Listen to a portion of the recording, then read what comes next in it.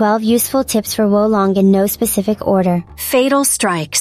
Holding L1 or just slowly approaching the enemy will allow you to go undetected whilst not in the enemy's line of sight. We can pull off fatal strikes from behind like this, or from above.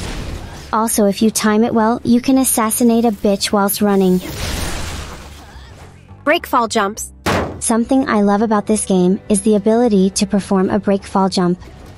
When performing a double jump, the second jump will reset our height, making any drop survivable. Overload. You might have noticed this symbol at some point, or become enraged when you suddenly find it impossible to deflect enemies' attacks. If your equipment weight exceeds 100%, then you'll be unable to deflect attacks or dodge and your martial arts spirit consumption will greatly increase. Equipment and smithing. Juxia can be found in the hidden village or at set areas during missions. If you're looking to upgrade, transmog, add special effects or scrap gear into materials, then she's the girl to see. Salvage and storage. As just mentioned, once unlocked, you can convert unwanted equipment into crafting materials so rather than selling them, hold on to them for later. From the sell menu you can also send items back to your storage box in batches. For some reason, you can't send them from the main menu, hopefully it'll be patched in down the line. Enemy hierarchy. Some battle flags are already in use by the enemy. To access them, you'll have to take out the nearby leader marked with this symbol. You'll be able to see the symbol once targeting them. The leader has followers marked with this symbol, and the lower end of their spirit gauge will shrink once their leader is dead, making clearing out the rest of the camp a lot easier. Stats and vanity resets. Once you reach the hidden village, you'll find Zuo Ci in the hut near the battle flag. He'll reset your stats or appearance for free, and trade your completed accolades for rewards. Cicada Hermit.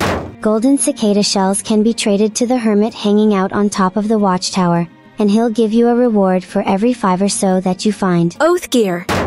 Fighting alongside other warriors will increase your oath level with them. Reaching oath level 5 or higher will improve their performance in battle, but when reaching oath level 10, you'll be given a copy of their favorite equipment. Once unlocked you can pick up the equipment using the deliveries option at the battle flag. Shisho pandas. Shisho are panda-like demons that act like Snuggly the Crow does in the Souls games. If you drop an item for a Shisho, they'll reward you with a random item in return. So far my rewards have mostly been accessories. Morale rank. Morale rank massively affects battle strength for both ourselves and enemies. If the enemy has a higher morale rank than us, it'll be displayed above their head. The higher the number, the more of a threat they are. If we score a critical strike on an enemy, it'll decrease their morale rank and vice versa. Our morale rank is reset when starting a new mission, this is why we're unable to cast certain spells initially. Flag types. There are two types of flags, battle flags and marking flags. Battle flags act as checkpoints similar to bonfires in Dark Souls. Here you can summon reinforcements, change your spells or purchase battle supplies. Marking flags increase your fortitude rank. Think of your fortitude rank as a morale bank. For example my fortitude rank is 11 so if I die then my morale can't fall any lower than 11 either.